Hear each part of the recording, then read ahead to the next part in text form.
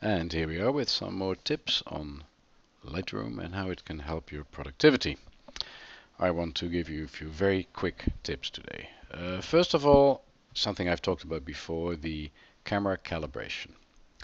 You will have all noticed that when you import a picture into Lightroom, it looks great, and then suddenly, two seconds later, it doesn't look so great.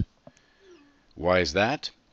Because initially, when you first see a picture, what you're seeing is the built-in JPEG generated by your camera according to its profile, according to its way of translating the raw data to uh, a file, to a visible JPEG.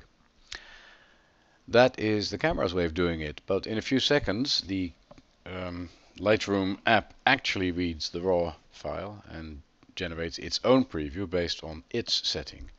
You can see that by going to the Develop module and in Develop go to Camera Calibration, the section at the bottom. And what you'll see there is that the default profile for imports is 2012 process and Adobe standard profile.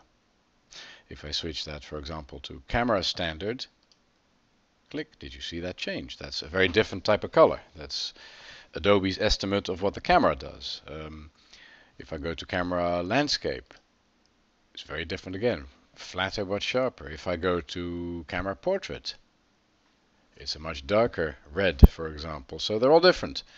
Um, I usually, in almost all cases, prefer camera standard to Adobe Standard. Adobe Standard looks a bit flat. It's not always the case, but generally it is.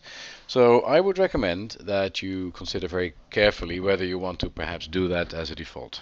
Um, you can always undo it, doesn't matter, you can always change your mind, but a lot of people find that it's just easier um, to quickly get to the right colors if you um, use the presets generated by Adobe to mimic the camera. Why? Because we always love what we see on the back of the camera. Those pictures always look great.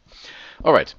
Um, so now that I've done that, I could, of course, every time go into Develop and go into Camera Calibration and change it from Adobe Standard to Camera Standard, um, or one of the other camera settings, and that's fine, but that's a lot of work. So why don't we make that into a um, preset, a develop preset. So what I do is I go into the presets, you see them here, right, on the left. I click on plus, I get a window, and that window has all sorts of options. I'll call it uh, uh, cam standard default. For example, I can call it whatever I like. I will store that in user presets and I'll tell it what's uh, required to be in this preset. I'm not sure if I did anything else to this picture, so I'll say no, just the process, version and calibration. Alright, so I say create and we now have that as a you know a standard we can apply easily by going to um, cam standard default. Click and there we go. Right. All right, that's the first step, make it into um, uh, a standard user preset. What we can now also do is say when we import a file, it's going to be part of uh, that import. We can say import, and let me just put a CF card into the reader so that we can import something meaningful. And there it is, EOS Digital, and I can click one of the pictures and what I can now do is go to develop settings, user presets, and select the user preset that we just generated. So cam standard default, for example. And the camera will now, upon that import, apply this uh, default setting to all your pictures, to this picture in other words. There is also, by the way, a metadata setting. If I've got a standard set of metadata, which I do, it contains things like my copyright information, my name, my address, and so on. I've saved that as a standard metadata set, and I can also apply that upon each import. It'll remember this for the next time. And so now when I import, uh, if I were to import now, uh, it would give these two settings. I can also, of course, apply keywords at that very same time.